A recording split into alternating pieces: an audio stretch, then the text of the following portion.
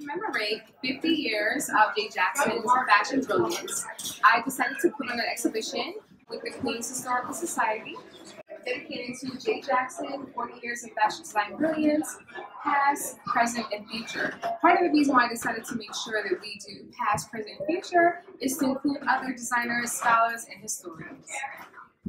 So the exhibition is actually divided into three parts. It's called Exalting the Past, Versioning the Present, and Vanguard of the Future.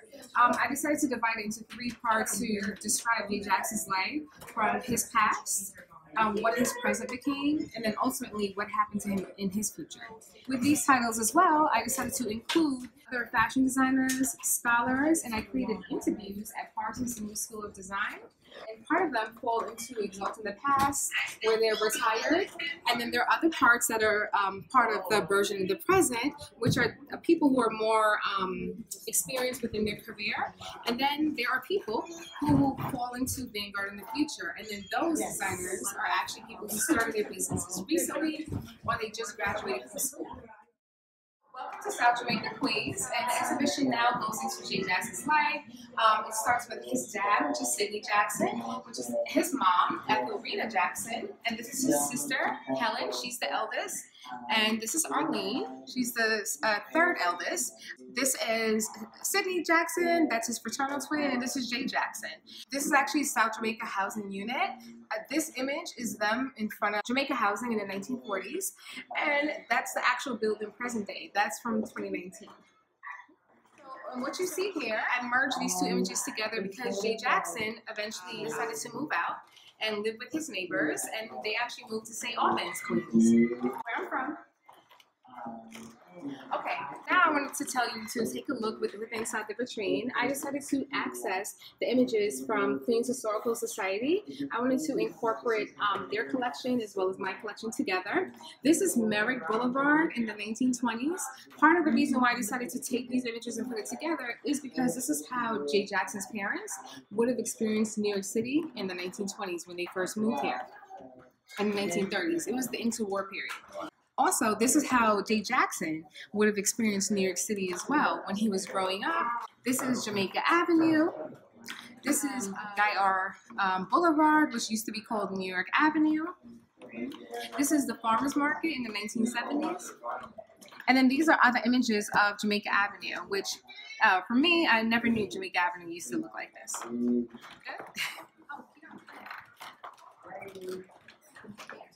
part of this board here that I titled uh, Chance slash Change is that he was taking a chance by leaving law school. He actually went to NYU Law School um, to pursue fashion. So he worked as a bank teller for a year, um, and that allowed him to gain enough money to start taking costume design courses. Over here, you actually get to see um, Jay Jaxon's family and friends. Um, this is Jay Jaxon's resume. Part of the reason why I merged New York City as well as um, Paris together is because uh, Jay Jaxon, after working in the fashion industry in New York, garnered enough money to end up going to Paris. I was saying earlier that Jay Jaxon decided to move to Paris. That ultimately changed his life. He actually got his first job working for Jean Scherrer as an assistant designer. Jean Scherrer actually ended up leaving his firm, and Jay Jaxon took over, producing this 1970 haute couture collection. The collection came out on January 26 and 27, and now we're in February, Black History Month. And this is the 50th year. I thought, what better year to um, commemorate Jay Jaxon in this way? The great part about being able to do this exhibition is that I had a budget. Making it rain, no. So with the budget, when you do have um, actual monies, being able to produce better imaging, actual canvases, these things can last, you know, 40, 50 years, and then exhibitions can continue to go on um, even beyond.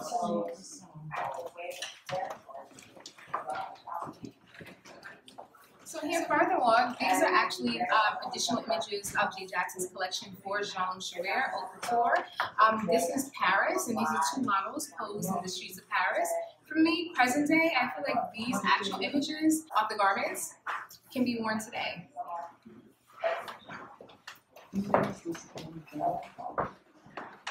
And then finally, we're actually wrapping on um, Jay Jaxon's Vogue Couture collection.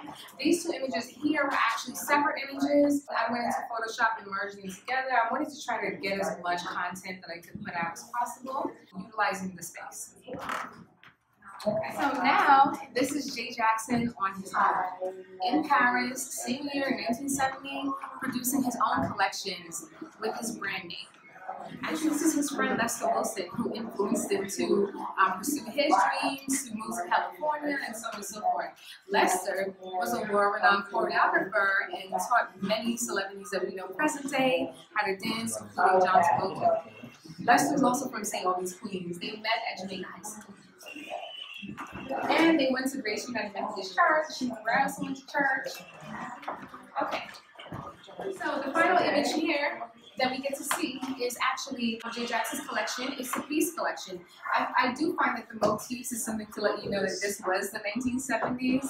But what's interesting about it is that it's cashmere tied with leather, and then you have length details. My friend who just left Isaiah described this as an androgynous look. He said if he felt it could be for both men, for women, whoever wanted to wear.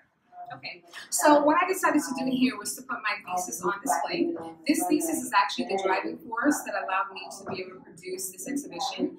Within the books that are displayed here, these books actually helped me to argue why Jay Jaxon should be in the fashion historical narrative. It actually helped me to take apart how American fa fashion historiography is defined and who the gatekeepers are.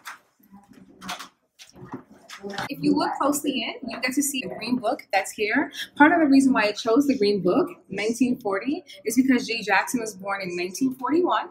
And the Green Book, for people who are traveling to New York City, was a place to let them know where it was a safe haven, that you could sleep, where you could eat, and things of that sort. In the very back, the way we wore style, black style then, was by Michael McCollum and actually Renee Hunter. Renee Hunter is the ex-girlfriend of Jay Jaxon. And in the book, it features Jay Jaxon. And Jay Jaxon is so excited. There's a quote that says, Lady Bird Johnson was calling me, and she called upon me to say congratulations for producing your couture collection. Now we've actually entered into my favorite part of the exhibition, which are the two boxes. This is actually Lloyd Hardy, which is Jay Jaxon's partner, and he's actually featured wearing the vest. Here's the other vest right here, the real life version, where you get to see it in person. When I met with Lloyd, he said, you know what, Rachel, you can have the vest. And, you know, I'm going to give you the portfolio because I feel like you'll be able to do so much with it. And so I hope that all of you guys are inspired to get to see that this is the exhibition and what it looks like presently. Right here, look at these uh, two billboards. This is Jay Jaxon's life. Now he's back in New York City. Um, he left Paris. Um, he did experience some racism in the fashion house and decided to come home. So he ended up designing for a company called The New Fires, which is this is the illustration. Here's the garment. That's actually his house on York Avenue. I think it's like in the 60s, just right off the beach. Right here, you get to see the toga, which is a sketch. and then right here as well, you get to see the New York Times. Um, this brand is called Juju. I actually met with the owner of Juju, and he told me about how Jay came to work with him, how he's a fantastic designer, how he was able to get the garments into Bloomingdale's and they were in the windows and you know they had these New York Times major ads and they were super excited to be able to experience this. Here you have Celine Mooney, and actually this is an ad that's discussing um, Jay Jaxon's fall collection for Celine Mooney, and that you should come to their showroom to be able to see it. Featured here as well. This is actually a playbill. I took the playbill and blew it up so you can get to see it. Here, you get to see Jay Jaxon's signature, which is throughout many of the exhibition. This is how I was able to take Jay Jaxon's signature, lift it off of the document, and then utilize it in the actual exhibition. One of the other things I wanted to do was to show that Jay Jaxon's garments went on tour to help students get scholarship money for university. So here, this is actually the California section. I, I do call this the California room. It's much more warmer. It's actually California and New York, but this is where his life transitions when he stops designing in New York City. He moves into California. He starts to design there. I guess he thought he would be able to make it even big again, and you know everyone would be reinvigorated by him. But it didn't quite happen that way. So he actually ended up quitting the fashion industry for 10 years. And again, the answer was that it was due to racism that he experienced. Here you get to see some of his garments for the cat Salem from Sabrina the Teenage Witch. You get to see he made a garment for his really good friend Thelma Houston. She's a Grammy Award winning singer. Her songs are super popular from the 70s. And this is her meeting the Pope. He also made bridal wear. And then this um, is Jay in California.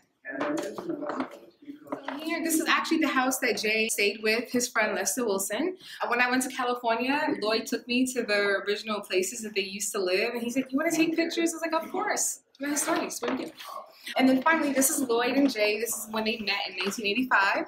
Jay actually went to USC. When he was coming out of the slump that he was in and decided to pursue a degree so he could build a plus size brand. He wanted to make garments for women who were larger. He felt that they should get beautiful garments too. And then finally, this is the singer Ashanti made costume wear for her. She was in a television show called American Dreams. Um, and so, yeah, he produced a garment for her. He produced a lot of garments for many celebrities that were on that show. Um, was, that show was like similar to American Bandstand, where they were trying to replay the past. This is his neighbor. He made a prom dress for her, fishtail prom dress. So he made the dress for her, but he didn't go in to see her off. I think was, he would still make garments for private um, friends, clients, and his celebrities, but he was still going through the sadness. So what most people don't realize, unless they capture certain things like the date, 1974, this is New York City. Jay is producing garments his brand a divisional collection underneath Benson and Partners. But if you came out of that room, you would have saw that he was still in Paris producing for other designers.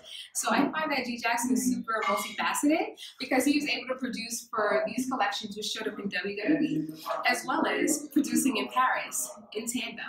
One of the other things that I can say that many people ask, well, you know, oh, I'll be able to find him in WWD, and I tell them that you won't because WWD does not track Jay Jaxon in their metadata. I found that out when I was doing research for my master's thesis. So finally here, we have Pierre Cardin. This is actually a tech pack it was much smaller and maybe about 10 inches. I took it, blew it up. In it, it says Jay Jaxon teamed it. Jay Jaxon for Pierre Cardin. This is the American market. Jay Jaxon is now designing for the French Couturier, but for his American market. And here, this is terry cloth. So if you felt the actual tech pack, the terry cloth is still there. It feels exactly the same. And what you notice about these tear sheets, it doesn't say Jay Jaxon's name, but one of the ways that he protected his legacy is by signing his signature there and there. And so if he didn't do this, it would be lost forever. No one would know that these were his specific designs.